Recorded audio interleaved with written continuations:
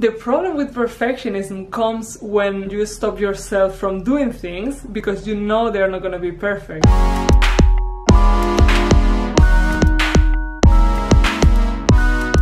Hi, my name is Virginia and I'm a graphic designer and my channel is all about creativity, the design process and basically documenting my journey as a graphic designer.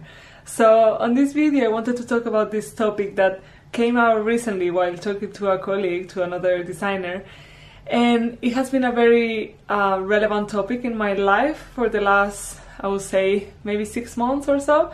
And that topic is perfectionism, and especially perfectionism as a graphic designer or as a creative person. Let's talk first about the preconception of what perfectionism is and what is not. So, perfectionism is not being perfect, it's actually quite the opposite, it's trying to be perfect. So, in my case, as a perfectionist, I try to to do everything perfect in a way. Um, this happens in my in my professional uh, job as a graphic designer. It happened when I was a filmmaker.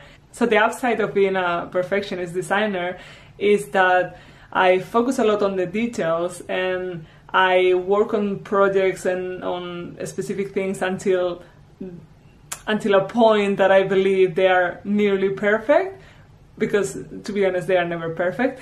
But the downside is that it's very hard to finish a project. It used to happen to me a lot when i was creating videos and it was because i couldn't see the point where the video was done. So honestly i had to work with tight deadlines and that was kind of the benefit. Because um, having a deadline meant okay whatever is done it's done. I don't have any more time to work on it. If i have more time I will spend more time redefining, refining everything, sorry, and editing and just changing things until the last minute. So being a perfectionist, um, I think people often see it as, oh, this, you know, it's, it's more like, I don't know, because it's hard to see from the outside, but I, what I think is that people see perfectionism as people who just, you know, pretend to be perfect or, or who are perfect and that's no that's completely wrong and I've been following for so for the last six months, so that's been my journey with perfectionism. I've been discovering a lot about this, and to be honest, I up until one point where I listened to a specific podcast, I didn't like I consider myself a perfectionist, but only on the good side. Okay, so you know when you have an interview and they ask you what are your strengths and what are your weaknesses, and many people, myself included, because I've done this many times, we will say, oh, my weakness is that I'm a perfectionist. And I think it's in the way that I am a perfectionist because I want to work on everything until it's perfect, and that's something you pretend or, that's something you believe is a good thing because you know prospect um, employer is going to be like, oh, you know, they work perfectly and they are going to work until it's perfect. So that's that's awesome. The problem with perfectionism comes when you stop yourself from doing things because you know they're not going to be perfect. So just trying new stuff or trying to learn a new skill. Uh, all of these things, the process is very messy, and the process when you start uh, I don't know, learning a new software or learning to draw or learning to do anything that is, you know, outside of your comfort zone, I guess. It, the, the, the journey is never easy, which is one of the reasons I wanted to record all this, like kind of document my journey, because I want to try and share, you know, the, the bad stuff as well. I think it's very hard and I'm still trying to figure out how to do it but the, the journey is, is messy and the journey is i actually have it uh, have a post-it on my computer saying uh, something like the, the journey will be messy and imperfect embrace it or something like that.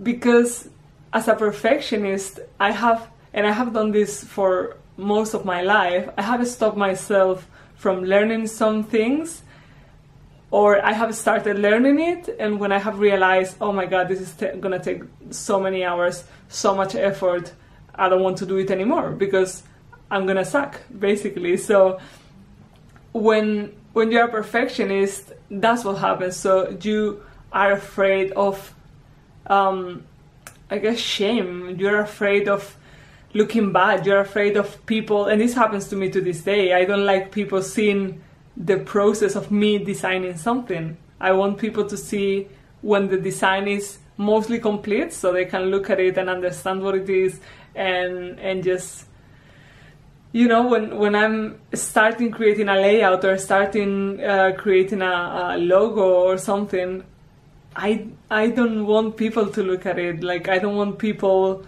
to see it and, and think like oh that doesn't look very good and have to excuse myself like oh no no i'm just starting you know it's so I prefer if they if, if no one sees it. So it's it's kind of um, being ashamed of showing the imperfect beginning or the imperfect side. So uh, the reason I've been um, the reason I've been more interested in this topic for the last few months is because I've started following uh, a coach. Uh, she's a coach for perfectionists. So her name is Sam Laura Brown. So I'll post her podcast um, on the on the notes of the of the video, and I really recommend to anyone to listen to her because I didn't realize that perfectionism was the thing that was stopping me from from doing stuff.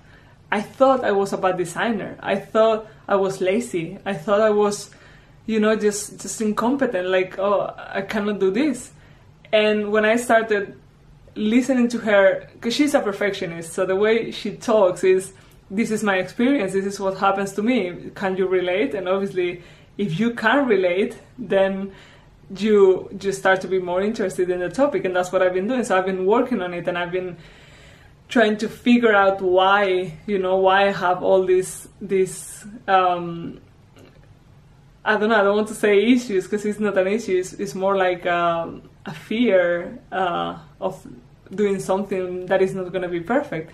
So I'm, I'm, that's something I'm working on, and I just wanted to share it because I'm aware that the same that happened to me, that I didn't, I considered it something good in a way, like being a perfectionist, as in working hard for to make everything perfect. And when I realized it was not like that, this has changed the way I work. This has changed the way I do things and I'm still working on it. It's been like a few six months or maybe a bit less, but I'm still working on it and I'm still improving. But it's something that I just think is important for everyone to know that I think many creative people are perfectionists, but it's important to work on it. And basically, the way to improve it is to just do it anyway, of course. But there is a lot of um, other work involved, mental work. And I, if if anyone who is watching feels like they might be stuck uh, in their creative career for some reason, I would recommend you check out the podcast or just try to read more about perfectionism because it can be, you know, um, something that helps you. So I don't want to make this video too much longer, but I just thought it was an interesting thought to share. So you have any comments or you have your own experience, please write it in the comments below and I'll be happy to read it and to answer. Thank you so much for watching. Bye!